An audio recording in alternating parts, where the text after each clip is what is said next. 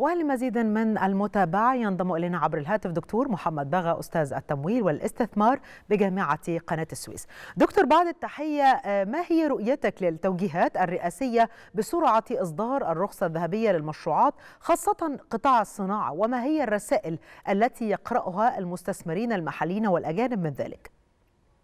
مساء الخير يا فندم طبعا جهد الدولة الحثيث في الوقت الحالي لجذب مزيد من الاستثمارات سواء المحلية أو الأجنبية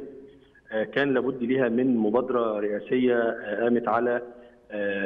استحداث ما يسمى بالرخصة الذهبية واللي بموجبها بيقوم المستثمر بالحصول على موافقة واحدة بأن هو ينهي كافة المعاملات والتراخيص اللازمة لإقامة المشروع بتاعه. طبعا بتكون هذه الرخصة الذهبية لفترة زمنية مقرره من جانب الحكومة المصرية واللي من خلالها بتقدر تستفيد الدولة من مزايا الاستثمار الأجنبي المباشر اللي ممكن يتوفر نتاج هذه المبادرة. بالتأكيد إن المبادرة دي بتكون موجهة بمقام أول إلى قطاع الصناعة واللي يعني بتعول عليه الدولة كثيرا في الوقت الحالي نظرا طبعا إن إحنا في أمس الحاجة إلى تعميق المنتج المحلي وإن إحنا نعالج الفجوة الاستيرادية اللي موجودة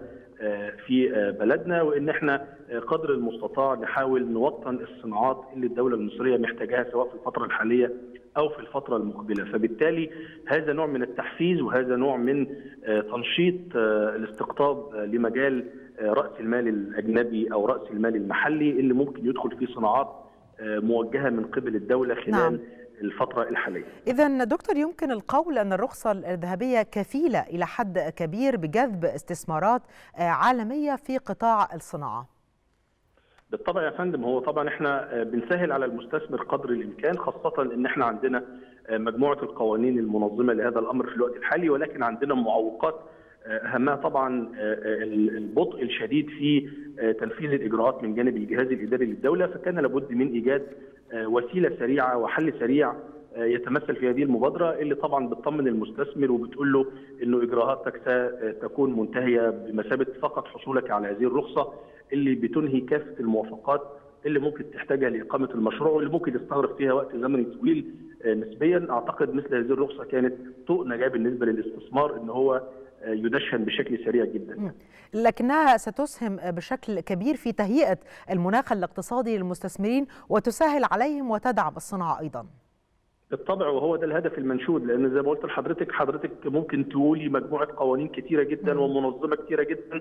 ولكن ممكن يجي موظف ويعرقل كل هذه الأمور. فبالتالي لابد من يعني green card كده أو كارت دخول بالنسبة للمستثمر إن هو بيضمن سلامة كافة إجراءاته حتى ولو كانت غير مكتملة. المبادرة الحقيقة بتهيئ للاستثمار أرض خصبة جدا إن هو يوفق أوضاعه وإن هو يستكمل إجراءاته بمثابة حصوله على هذه الرخصة الذهبية اللي إحنا في الوقت الحالي محتاجين هذا الأمر يعني إحنا بنشوف تسارع من جانب دول العالم في جذب الاستثمارات في قطاعات الصناعة بالذات فبالتالي مصر لديها فرص مهيئة جدا خاصة بعد الإجراءات الإصلاحية اللي حصلت في الاقتصاد المصري خلال الفترة الأخيرة وهناك مستقبل واعد في قطاعات كثيره جدا في الاقتصاد المصري طبعا وأهمها قطاع الصناعة ونحن في أمس الحاجة لذلك. صحيح. بشكرك شكرا جزيلا دكتور محمد بغا أستاذ التمويل والإستثمار بجامعة قناة السويس كنت معنا عبر الهاتف.